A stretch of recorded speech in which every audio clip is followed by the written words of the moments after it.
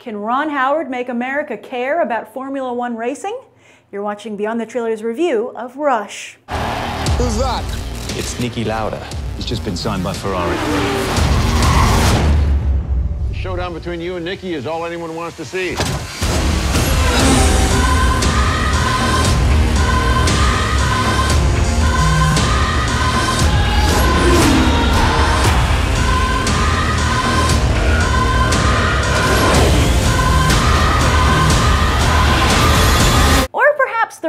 Question is, does Ron Howard have to make America care?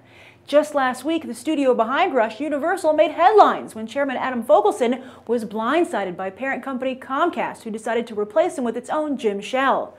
Why? It seems to have boiled down to two reasons. One, the age-old argument that Comcast simply wanted their own guy in there. But two is that they felt Fogelson was too focused on domestic audiences rather than the global audience. Welcome to the new Hollywood. Yes, while American audiences used to make or break a movie, these days they only represent a slice of a film's box office pie. And sometimes a movie doesn't even need to appeal to American audiences to turn a profit. Pacific Rim has made over 75% of its money overseas.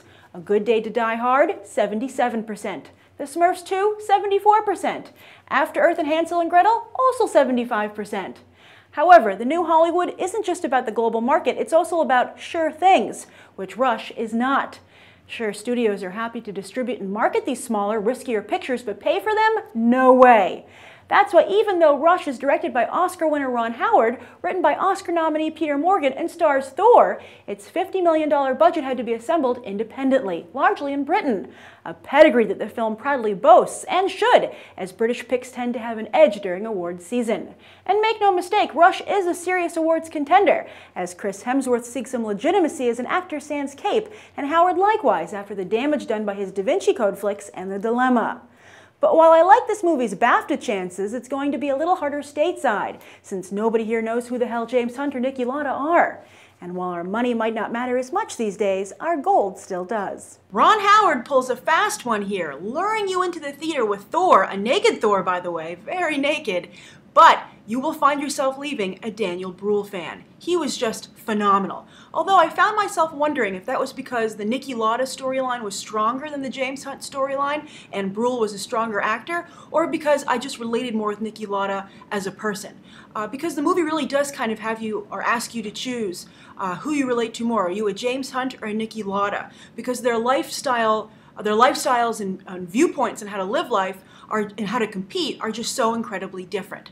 Uh, but either way, though, I think this is a little bit of a concern for Chris Hemsworth because this is the second time he's being overshadowed in a film where he's supposed to be the star. The first, obviously, is Thor. I feel that Tom Hiddleston, and I think a lot of people do, overshadows him in those films. Uh, and we've I've been asking and wondering here on this channel if they can make a Thor movie without Loki. And I feel here the same almost the same thing happens. Uh, Daniel Bruhl is the Tom Hiddleston of this film. And they have a very Thor-Loki relationship, actually, between James Hunt and Niki Lauda. Uh, so that was interesting. Uh, but I would like to know below who you are, if you're a James Hunt or a Niki Lauda. As I said, I related to Niki Lauda. Uh, as for the film itself, it got off to a slow and bumpy start. Uh, and I actually became a little bit concerned. I was like, another biography where they stretched themselves too thin with too much to cover. I was thinking they should have focused on either Hunt or Lauda because they just weren't going into enough, enough depth with any of them.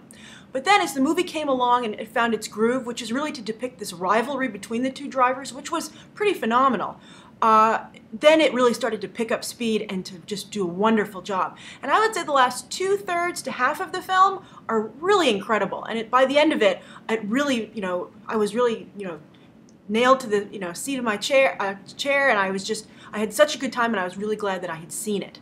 Uh, and also, kudos to Ron Howard, by the way, who really directs this like you would think this was a newcomer behind the camera with something to prove. He makes really bold, creative choices uh, and indie film stylings, which were really refreshing to see with a race car film. Because I think at this point it's interesting. I was thinking that also during the beginning of the film when it was a little slow, that I was like, I'm pretty familiar with the world of racing thanks to animation, with the world of cars and turbo.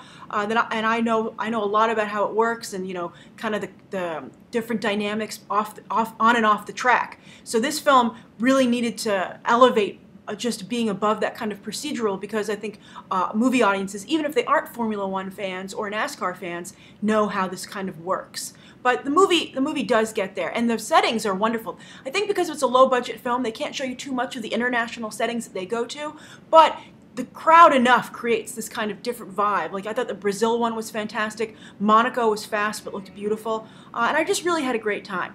Uh, now a lot of you have been wondering what are this film's Oscar chances, and I feel while it is a contender, it's a long shot. But I feel if it's going to get any nominations, I think Daniel Bruhl is a strong contender. I think cinematography is a strong contender. And score. We've just been talking about score recently here. Uh, one of you asked about it as a viewer question on Morning Movie News, and this film has a great score. Uh, also, uh, as, a, as, an even further long shot, I feel it maybe might be able to get uh, Best Screenplay.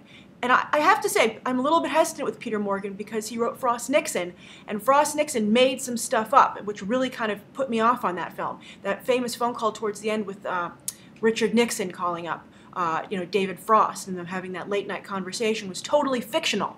Uh, so there are some interesting moments here in the film where I, I, took, I, I, was taken out because for just a moment I was like, wait a minute, did Peter Morgan just make this up for dramatic effect?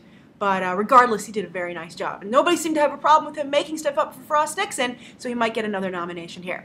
So that's my thoughts on Rush. I feel it's a must-see in theaters, by the way, uh, and just stick with it. And I think by the time they get to the final laps, you'll be glad that you raced. So uh, write your own thoughts down below. Thank you for tuning in. I hope you check out these other episodes right now.